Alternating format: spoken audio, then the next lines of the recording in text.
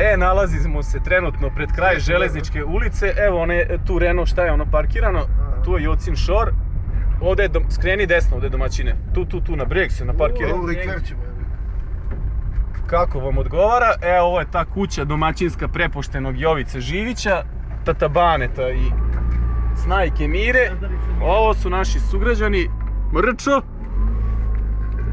Okrene se kolega Đoda Možemo li tamo i Dragan. Evo, ulazimo kao u reality showu. Dobro je, parkiraj.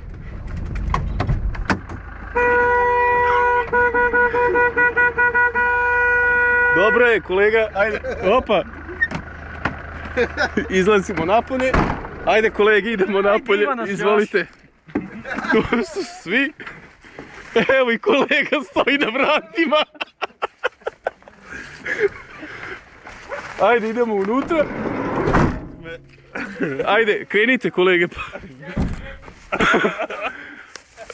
Evo kolega treba zove Bučiku. Kućemo preko kapije. Evo čuje se Budžika. Da vidimo. Evo prilazi nam domaćin. Ovo ti je sve za ljubav, Joci. Evo stižemo. Evo da stigu domaćine. Evo da se pozdravi. Pa ne usta majkom. Domaćine. Nemojte pretjerivati, ljudi, prošlo je deset. Evo to je sve. Ajde, Čestitamo ti pojď. Ajde, molim. Stres put. Ja. E, ček samo telefon. Stani da čestitamo Jovice, znam da se slikamo. Šta čekam tu budike? Neće izvoli. bučiti, naranili smo ga. Eto, ovo, je- ovo su došli viđeniji ljudi našeg kolektiva. Evo, još jedan. od nas. Dule, bo. Izvoli ti gazda, samo prvi, Ajde. oni će... Puštaj Džukilu. Ureča. Ajde. Evo, stigli smo. Nadamo se da smo potrefili moment. Ajde kolege, izvolite. Razdvajamo se. Ne razdvajamo se nikako.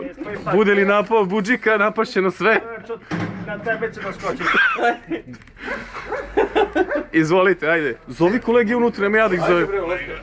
Ajde, Ajde. ajde. pusti snimanje, ajde. Ajde, prekidamo, odjavljujemo se, čujemo se kasnije.